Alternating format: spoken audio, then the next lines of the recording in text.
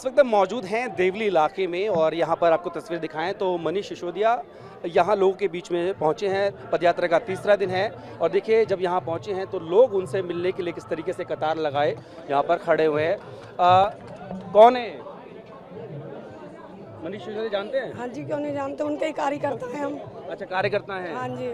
हाँ तो अच्छे तो- काम करते हैं। हाँ आप तो बताओगे हाँ कार्यकर्ता उनके हाँ जी। और भी लोगों से बात करते हैं। क्या नाम है आपका? संजीव यादव। अच्छा एक मिनट। आप भी पार्टी से जुड़े हैं क्या? नहीं। अच्छा हाँ अब आपसे पूछूँगा आ, कैसे देख रहे हैं यात्रा को? बहुत अच्छा लग रहा है देख के नहीं मुझे मेरे फेवरेट हैं ये। क्यों? बहुत ज़्यादा मुझे बहुत पसंद है। क्यों? क्या किया है? ऐसे ही अपनी अपनी चॉइस है। कुछ काम वाम भी किए हैं? नहीं नहीं मेरे बच्चों के शिक्षा मंत्री हैं। अच्छा पहले थे अब तो इस्तीफा देना पड़ेगा कोई बात नहीं है। हाँ। तो होने भी चाहिए कोई बात नहीं है और भी हो जाए मैं तो कहूँ दोबारा। अच्छी बात है ना और क्या? आपको क्या लगता है जो जेल भेजा गया तो सही भेजा गलत भेजा? नहीं मुझे इस चीज़ के बारे में नहीं बोलूँगी लेकिन मेरे हिसाब से बहुत गलत भेजा गया है। नहीं भेजना चाहिए था। हाँ नहीं भेज चलो, और भी लोगों से बात करेंगे इधर। आ, किनसे मिले आप अभी?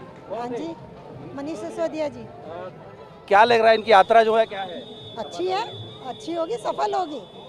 बच्चों के लिए उन्होंने अच्छा किया है तो अच्छा ही होगा। अच्छा किया है? हाँ। जेल में भेजा गया उनको? अब वो वो तो पार्टीबाजी जाने हम नहीं जानते इस चीज़ को। आप क्या कहेंगे माता जी नहीं उन्होंने बहुत अच्छा किया है बच्चों के लिए सब बहुत सुविधा दी है पढ़ाई लिखाई में बहुत मतलब उन्होंने वो दिया है सहयोग हर चीज़ में और ऐसे ही उनको हमेशा करते रहेंगे तो बहुत अच्छा रहेगा आगे तक। इस यात्रा का फ़ायदा होगा कुछ? हाँ क्यों नहीं अरे उनके दर्शन मिले करने के लिए और क्या चाहिए हमको? सबसे बड़ी बात तो यही है। आए तो वो बताओ पैदल पैदल आ रहे हैं और जब भी सारे पूछ नेता कुछ पूछ भी रहे थे आप नहीं? हाँ वो थे हमारे हस्बैंड खड़े थे अंकल खड़े थे साथ में। अच्छा आपसे? हाँ। आगे आइए बच्चे कौन थे जानते हैं इनको मनीष सिसोदिया थे। हाँ। मिले आप इनसे भी हाँ। क्या अच्छा लगता है इनके बारे में? सब अच्छा लगता है। एजुकेशन मिनिस्टर रह चुके हैं। हाँ।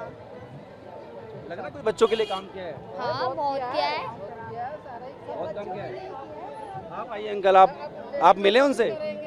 हम यही मिले थे। हाँ क्या बातचीत हुई? बहुत अच्छा काम किया है हाँ। और आगे भी करते रहेंगे वो काम। हाँ। बीजेपी वालों के तमाचे लगे हैं इस अच्छा। चीज़ के। कुछ नहीं मिला फिर भी जेल में डाल रहे हैं ये ज़बरदस्ती डाल रहे हैं। हाँ। नहीं डालना चाहिए ऐसे आदमी को। हाँ। सत्रह सत्रह महीने में कितना नुकसान हुआ है बच्चों का। हाँ। एजुकेशन का कितना नुकसान हुआ है। हाँ। इसकी भरपाई कैसे होगी अब जैसे चुनाव आने वाले हैं। चुनाव में तो ये देखो क्या होता है यही आएँगे। यही आएँगे? बिल्कुल यही आएँगे। अच्छा ये काम करते काम करने वाला आएगा।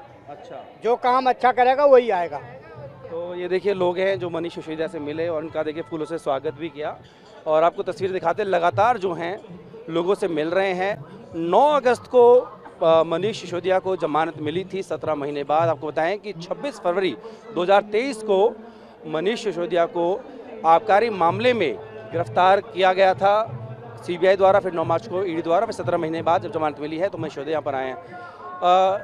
आप लोग मिले मनीष सिसोदिया से? हाँ मिले जी बहुत बढ़िया मिले। हाँ, क्या लग रहा है ये जो यात्रा है इसका तो फ़ायदा होगा? नहीं फ़ायदा तो उनको पहले से फ़ायदा है यात्रा का फ़ायदा ही है उनको पब्लिक चाहती है उन्हें।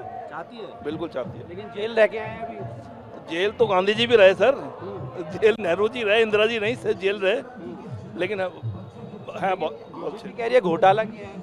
नहीं बीजेपी कुछ भी बोले हाँ, वो तो अदालत फैसला करेगी ना। हाँ। ये बस जो अदालत करेगी वो करेगी। तो मुलाकात हुई तो कोई बातचीत भी हो पाई क्या नहीं कोई नहीं पूछ रहे थे आप लोग ठीक हो मैंने ठीक है। हाँ, बस। यही बात हुई। तमाम लोग हैं और एक बार फिर से दिखाते हैं यहाँ पर देखिए मनीष सिसोदिया लगातार लोगों से मिल रहे हैं और ऊपर से देखेंगे आप फूल मालाएँ वगैरह भी जो है वो यहाँ ऊपर से फेंकी जा रही है और मनीष सिसोदिया जो है लगातार लोगों से बातचीत यहाँ पर कर रहे हैं और ये उनकी पदयात्रा का तीसरा दिन है पुलिस खुर्शीद के साथ जितेंद्र भाटी विनय भारद्वाज दिल्ली।